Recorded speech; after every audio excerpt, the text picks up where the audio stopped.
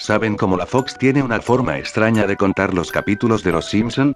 No cuentan algunos, haciendo que el número de episodios sea inconsistente. La razón de este extraño hecho, es un episodio perdido de la temporada 1. Encontrar detalles de este episodio es algo difícil, porque nadie del personal que trabajaba en el show en ese momento quiere hablar de ello. Por lo que he logrado recopilar, el episodio perdido fue escrito totalmente por Groening. Durante la producción de la primera temporada, Matt actuaba de forma extraña. Era silencioso, se veía nervioso y algo mórbido.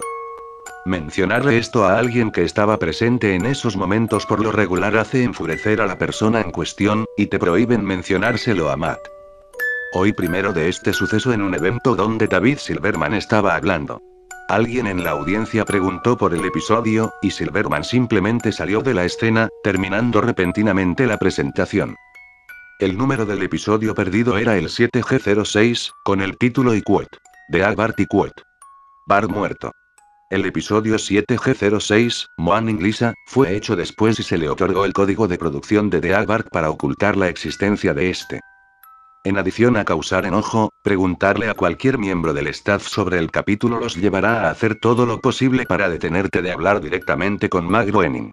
En una convención de fans, logré seguirlo tras que terminó de hablar con el público, y eventualmente tuve una oportunidad de hablar con él conforme abandonaba el edificio. No le enojó que lo siguiera, probablemente pensando que era otro fan típico. Cuando le mencioné el episodio perdido, se puso pálido y comenzó a temblar. Cuando le pregunté si me podía dar detalles, parecía estar a punto de llorar. Tomó una pieza de papel, escribió algo en ella, y me la dio. Me rogó porque nunca más mencionara el episodio de nuevo. En la pieza de papel estaba la dirección de un sitio web, que no diré, por razones que narraré en un segundo. Metí la dirección a mi buscador y entré a un sitio completamente negro, excepto por una línea de texto amarillo, un link de descarga. Le di clic y el archivo comenzó a bajarse. Una vez que terminé de bajarlo, mi computadora se volvió loca, el peor virus que hayan visto. Restaurar sistema no funcionó, la computadora tuvo que ser formateada totalmente.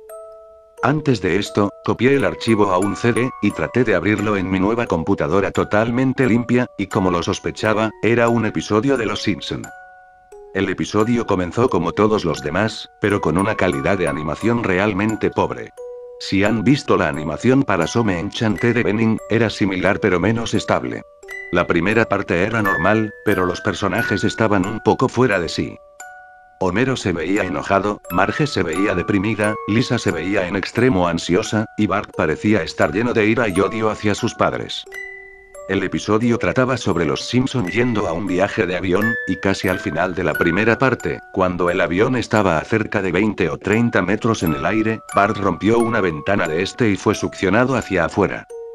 Al inicio de las series, Matt tenía una idea de que el estilo animado del mundo de los Simpson representara la vida, y que la muerte tornara todo más realista. Por eso pasó este episodio. La imagen del cadáver de Bart apenas era reconocible, tomaron total ventaja de que no debían animarlo e hicieron un dibujo casi fotorrealista del cadáver de Bart. El primer acto finalizó con una imagen sumamente gráfica del cadáver de Bart. Cuando comenzó el segundo acto, Homero, Marge y Lisa estaban sentados en la mesa de la cocina, llorando. El llanto parecía no terminar, volviéndose más doloroso y sonando extremadamente realista, con una mejor actuación de la que creerían posible. La animación comenzó a decaer aún más mientras lloraban, y podías escuchar murmullos al fondo. Los personajes parecían estar apenas animados, se estaban alargando y borrándose, como formas deformadas pintadas con colores brillantes al azar. Había caras en la ventana, viéndolos, parpadeando una y otra vez para que nunca las distinguieras perfectamente. El llanto siguió por todo el segundo acto.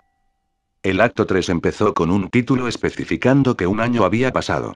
Homero, Marge y Lisa estaban esqueléticamente delgados, aún sentados en la mesa. No había rastro de Maggie o de las mascotas. Decidieron visitar la tumba de Bart. Springfield estaba totalmente desierta, y mientras caminaban por el cementerio, las casas se volvieron más y más decrépitas. Se veían abandonadas. Cuando llegaron a la tumba, el cuerpo de Bart estaba tirado frente a su tumba, viéndose igual que al final del primer acto.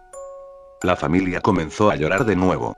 Eventualmente se detuvieron, viendo fijamente el cadáver de Bart. La cámara se enfocó en el rostro de Homero. De acuerdo al sumario del episodio, Homero dice un chiste en esta parte, pero no es audible en la versión que vi, no se puede saber qué dice Homero. La cámara hizo una toma panorámica cuando el episodio iba a terminar. Las tumbas en el fondo tenían los nombres de cada estrella invitada a los Simpson en ellas. Algunos que nadie conocía en 1989, algunos que no habían estado aún en el show. Todos tenían fechas de muerte en ellos. Para los que murieron desde aquel entonces, como Michael Jackson y George Harrison, las fechas señalaban el día en que murieron. Los créditos estaban silenciosos y parecían escritos a mano. La imagen final era la de la familia Simpson en su sillón, pero todos dibujados de forma hiperrealista, similar al cadáver de Bart. Se me ocurrió en un principio, tras ver el episodio, que podría usar las tumbas para predecir la muerte de todas las estrellas invitadas a los Simpson que aún seguían vivos, pero hay algo muy raro respecto a los que no han muerto.